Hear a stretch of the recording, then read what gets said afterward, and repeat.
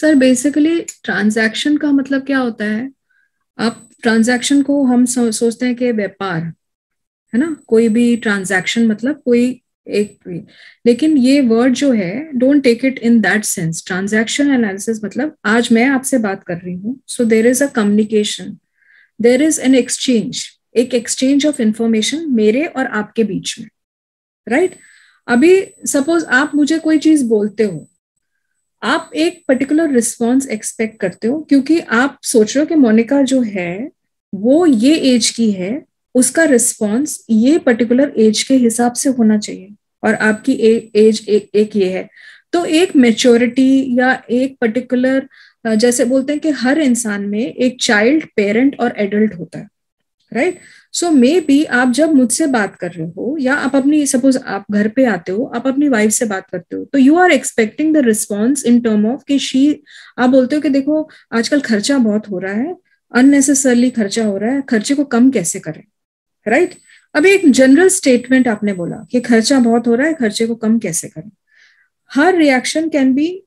हाँ बात सही बोल रहे हो, खर्चा बहुत हो रहा है वी शुड वी कैन हम ये ये चीज़ें कर सकते हैं। Right right? जब उसने ऐसे आपके साथ बिहेव किया तो she is behaving like an adult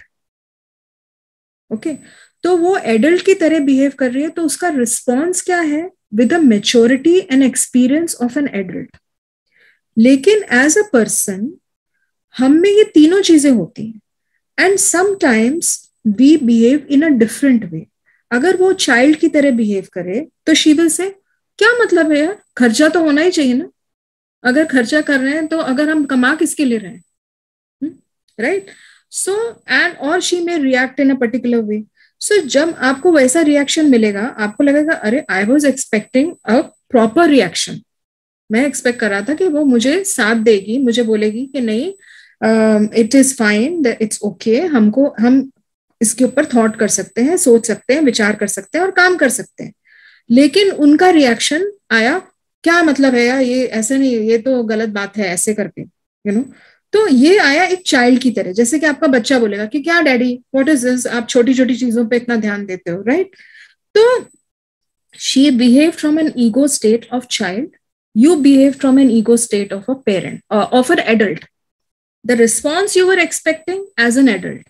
लेकिन आपको रिस्पॉन्स एडल्ट के जैसे नहीं मिला you receive the response like a child so फिर क्या होगा? आप आप भी अलग रिएक्शन में जाओगे कि वॉट कुछ हो सकता है आप कुछ और बोलो कि अरे देखो मैं तुमको समझाता हूँ, तुमको कभी कुछ समझ में नहीं आता है। Then again she will go in to some so it is basically transaction analysis is what कि हम as individuals it's a psychology subject very interesting subject कि we are at different ego states और अगर हमारे ego state same रहते हैं तो ये जो मिसकम्युनिकेशन होता है, जो इश्यूज़ होते हैं, जो प्रॉब्लम्स होते हैं, वो नहीं होंगे। अगर हम दूसरे की स्टेट को समझ पाए तो हम उसको एनालाइज भी कर सकते हैं कि may be I behave in this way और that person was in this state और उसका रिएक्शन इस स्टेट के हिसाब से हुआ। इस ईगो मतलब इस ईगो स्टेट के हिसाब से हुआ। इसकी वजह से हमारे बीच में प्रॉब्लम हो गई। लेकिन उस टाइम पे तो हमारे बीच में हो सकता है कम्युनिकेशन कंटिन्यूस चले और झगड़ा भी हो जाए, छोड़ के भी चले जाए या वो उधर चले जाए और मैं उधर मुँह मतलब बैठ जाऊँ कमरा बंद करके। But if we understand so transaction analysis in everything not just parent घर के अंदर, आप जब किसी को क्लाइंट से डील करते हो, आप जब मार्केटिंग करते हो, आप कुछ भी करते हो तो यू आर लुकिंग कि how your message is going, what is the other person perceiving it as, and how you can change it और आप किस तरह से वो उसको वो कर सकते हो। सो ये इट्स नॉट ओनली दैट इसके अलावा अगर एज अ पर्सन मुझे ऐसा लगता है कि मैं हमेशा सही हूँ और आप गलत हो।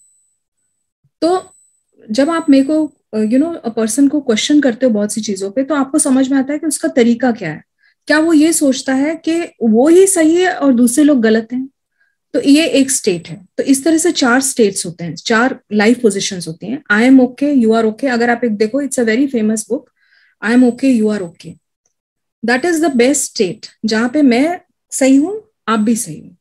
That is I am the most happy person क्योंकि मैं भी सही हूँ आप भी सही लेकिन जहाँ पे मुझे लगता है मैं सही हूँ आप गलत हो।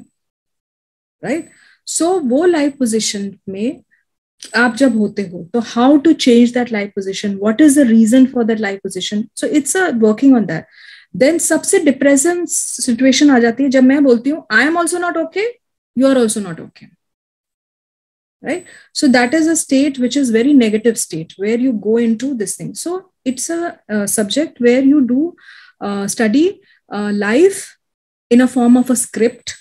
so the words which are used in transaction analysis are like that with life is a script there are different strokes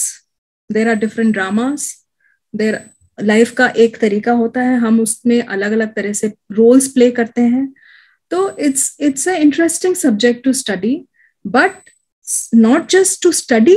to use in everyday life and having a better understanding of each other in any kind of a circle, whether personal और profession so so, बच्चों के लिए बहुत पढ़ाया जाता है. In fact it's a good course for students parents for educational professionals for people it's use a lot in corporate world also T A को काफ़ी यूज़ किया जाता है कॉपरेट वर्ल्ड में. People teach T A to you know के how you should what what you should see and also एक तरह से कि आप किधर ऑपरेट कर रहे हो अगर आप डेंजरस सिचुएशन पे ऑपरेट कर रहे हो जहाँ पे आपको you know you are going into negativity and too much of depression and anxiety so what is causing that and how you can rectify that position so it's that great great uh, thank you monica ji it's a fantastic course that's it transitional analysis oh, is absolutely free de- delivery by monica ji for two days